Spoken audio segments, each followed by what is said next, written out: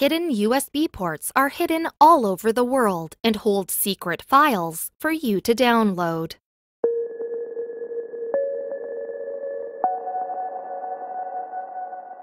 What started off as a single person and their idea to enlighten and unplug the community, as well as stick it to the man a little, has grown into a global phenomenon. In 2010, Aram Bartholl wanted to create an anonymous, offline, peer to peer file sharing network in public space. He called them Dead Drops. In the wake of all sorts of anti piracy litigation, ad campaigns, and laws being made, this idea has caught on worldwide to the tune of over 1,170 dead drop locations.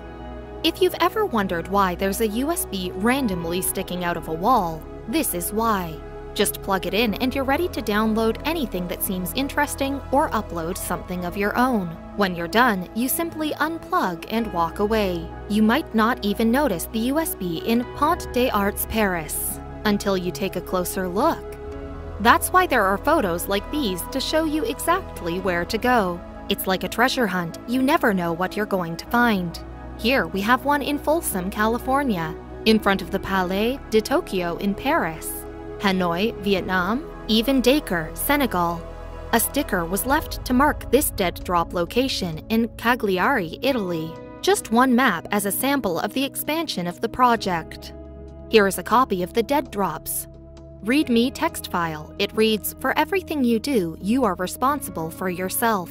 I am excited to look up the nearest dead drops on my next vacation. Imagine going on a European trip with some time to kill. You find a dead drop location and download some photos with directions to an awesome hidden location. Maybe locals helping you find something special off the beaten path. New music by up and coming artists, or even scavenger hunt clues and directions. The possibilities are endless and adventures unimaginable. A dead drop is a naked piece of passively powered universal serial bus technology embedded into the city, the only true public space. In an era of growing clouds and fancy new devices without access to local files, we need to rethink the freedom and distribution of data. The Dead Drops movement is on its way for change. Aram Bartholl. What are your thoughts? Let us know in the comments.